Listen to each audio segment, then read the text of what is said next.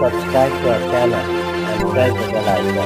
असलम अज़ीज़ तलबा तालबात जमात ग्यारहवीं के चौथे सबक ओवर कोट के दूसरे वीडियो में आप तमाम का इस्तकबाल है। चलिए शुरुआत करते हैं। नौजवान सीमेंट की बेंच पर बैठा अपने सामने से गुज़रते जन और मर्द को गौर से देख रहा देख रहा था। जन और मर्द यानी औरतें और मर्द, अफराद, ये इंग्लैंड का के बारे में बयान है तो इंग्लैंड में उस ज़माने में भी काफ़ी आज़ाद ख्याल लोग पाए जाते थे और ख़वान और मर्द दोनों भी काम के लिए जाया करते थे। इसकी नज़र इनके चेहरों से कहीं ज़्यादा इनके लिबास पर पड़ती थी। इनमें हर वज़ा और हर खमाश के लोग होते थे। वज़ा ख़ता होना यानी कि अपने किस किस्म के कपड़े ज़ैब तन किए हुए हैं खमाश के यानी कि हर रंग के लोग उसके उसमें शामिल थे। बड़े बड़े ताजिर, सरकारी अफसर, लीडर, फ़नकार, कॉलेजों के तलबा, तालबात, नर्सें, अखबारों के नुमाइंदे, दफ्तरों के बाबू, ज़्यादातर लोग ओवर कोट पहने हुए थे। अब देखिए यहाँ पर ओवर कोट का ज़िक्र हो गया है। यानी ये तमाम लोग जो आ जा रहे थे, वो ओवर कोट जैब तन किए हुए थे ओवर कोट पहने हुए थे। अब ये ओवर कोट जो है, ये मरकज़ी किरदार है और नौजवान उसके इर्द गिर्द अपने ख्याल को बुन रहा है। यानी उसमें जो मरकज़ी किरदार जो है, वो चाहे तलबा हो, डॉक्टर हो, अफसर हो, लीडर हो या बाबू हो, सबके लिए एक अहम जुज बन गया है। हर किस्म के ओवर केट ओवर कोट बेश कीमत ओवर कोट से लेकर पुराने ओवर कोट तक जिन्हें नीलाम में ख़रीदा गया था। अब ये जो नौजवान बैठा था, वो इस बात की तरफ़ इशारा कर रहा था, गौर कर रहा था कि लोग किस किस्म के कपड़े पहने हुए हैं। अगर ओवर कोट पहना भी है तो वो ओवर कोट किस किस्म का है? नया है, पुराना है, नीलामी में ख़रीदा गया है। नौजवान का अपना ओवर कोट था तो ख़ासा पुराना, मगर इसका कपड़ा खूब बढ़िया था। फिर वो सिला हुआ भी किसी माहिर दर्जी का था। इसको देखने से मालूम होता था कि इसकी बहुत देखभाल की जाती है। कालर खूब जमा हुआ था, बाहों की क्रेज़ बड़ी नुमाया, सिलवट कहीं नाम को नहीं। बटन सींग के बड़े बड़े चमकते हुए नौजवान इस कोट में बहुत मगन मालूम होता था। यानी नौजवान अपने जो कोट है, उसे देखकर बहुत खुश हो रहा था। उसका कोट किसी काबिल दर्जी के ज़रिए बनाया गया था और वहाँ पर उसका कपड़ा भी काफ़ी बढ़िया था, नुमाया क्रीज थी और खूब जमा हुआ लग रहा था। एक छोटी सी सफ़ेद रंग की बिल्ली सर्दी में ठिठरी हुई बेंच के नीचे इसके कदमों में आकर मियाँ मियाँ करने लगी। इसने पुचकारा तो उछल कर बेंच पर आ चढ़ी। इसने प्यार से इसकी पीठ पर हाथ फेरा और कहा, poor little soul. Poor little soul यानी अब ये गरीब बिल्ली के लिए लेवल इस्तेमाल किया गया। छोटी सी, प्यारी सी गरीब बिल्ली। अब ये सोल आमतौर पर किसी, ये अंग्रेज़ी का लफ्ज़ है, किसी के जिस्म या किसी की रूह के लिए लफ्ज़ इस्तेमाल किया जाता है। इसके बाद वो बेंच से उठ खड़ा हुआ और सड़क को पार करके इस तरफ़ चला, जिधर सिनेमा की रंग बिरंगी रोशनियाँ झिलमिला रही थी। अब देखिए, उस नौजवान को काम ही क्या था। इसलिए वो मटर गश्ती करता हुआ फिर रहा था, यहाँ से वहाँ वहाँ से यहाँ, और वो सिनेमा के करीब चला गया। बरामदे में बैठा, भीड़ ना थी, सिर्फ़ चंद लोग थे जो आने वाली फ़िल्मों की तस्वीरों का जायज़ा ले रहे थे। आजकल के ज़माने में फ़िल्मों का वो क्रेज़ नहीं रहा है जो पुराने ज़माने में हुआ करता था। अक्सर नौजवान सिर्फ़ चक्कर लगाने के लिए ही सिनेमा घर का तस्वीरों का नज़ारा करने के लिए ही सिनेमा घर का चक्कर लगा दिया करते थे। तीन नौजवान एंग्लो इंडियन लड़कियाँ इन तस्वीरों को शौक़ से देख रही थी।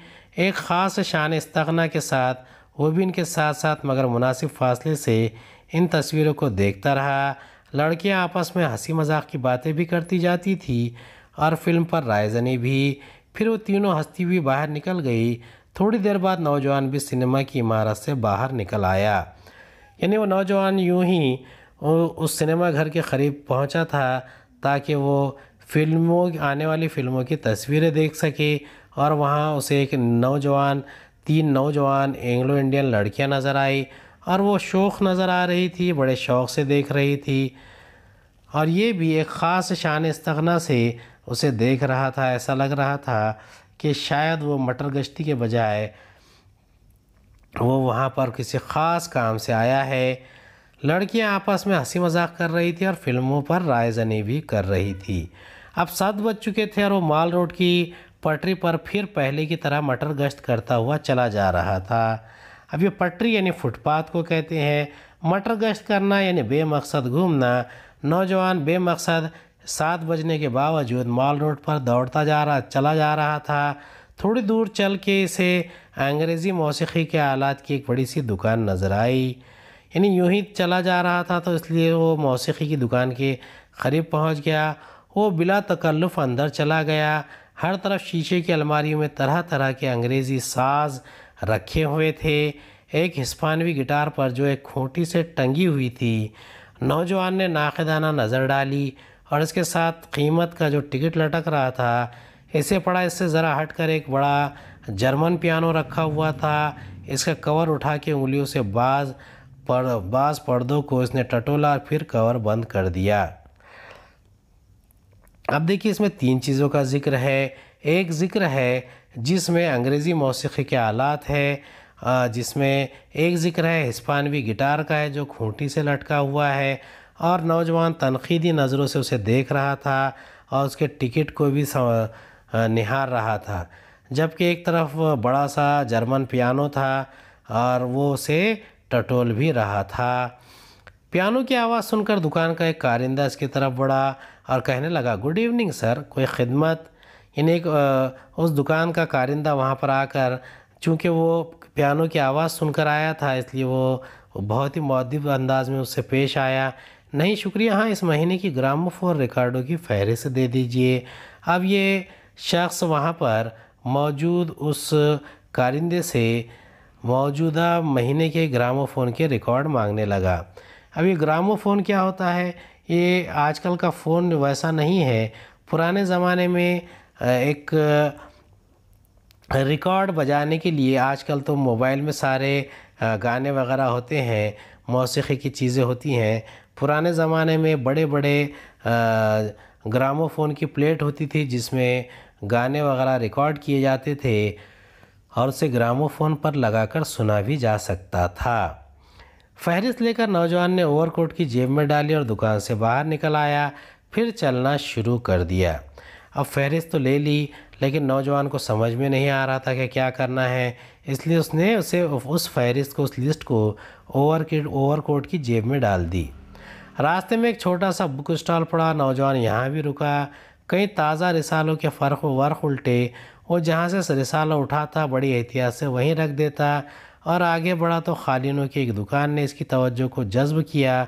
मालिक की दुकान ने जो एक लंबा सा चुगा पहने और सर पर कला कलाह रखे था। गर्म जोशी से इसकी आओ भगत की। कारिंदा यानी नौकर, चुगा यानी अबा, जबा, लिबादा इसे कह सकते हैं। और खफीफ होना यानी हल्का और हल्की तरीक़े से किसी से पेश आना। लेकिन जो नौजवान वहाँ पर पहुँचा तो वहाँ का जो मालिक दुकान था, दुकानदार था, वो बड़ी गर्म जोशी से इससे मिला और आओ भगत करने लगा। ज़रा ये ईरानी खालिन देखना चाहता हूँ। उतारिए नहीं, यहीं देख लूँगा क्या कीमत है इसकी। चौदह सौ तीस रुपये यानी जब नौजवान ने उस दुकानदार से माजरत के साथ पूछा कि वो अंदर नहीं आएगा। सिर्फ़ ईरानी खालिन देखना चाहता है। कीमत पूछी तो चौदह सौ तीस रुपये निकली। नौजवान ने अपनी भावों को सुकेड़ा, जिसका मतलब था, ओहो, इतनी। यानी किसी चीज़ के एन मुताबिक अगर ज़्यादा कीमत नज़र आ जाए तो ऐसा ही होता है। दुकानदार ने कहा, पसंद कर लीजिए, हम जितनी भी रियायत कर सकते हैं, कर देंगे।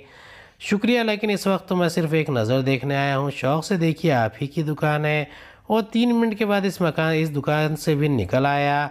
इसके ओवरकोट के काज में शरबती रंग के गुलाब का जो अध खिला फूल अटका हुआ था, वो इस वक्त काज से कुछ ज़्यादा बाहर निकल आया था। जब वो उसको ठीक कर रहा था तो इसके होठों पर एक खफीफ और पूरा सरा सी मुस्कुराहट नमदार हुई और इसने फिर अपनी मटर गश्त शुरू कर दी। खफीफ सी यानी हल्की सी।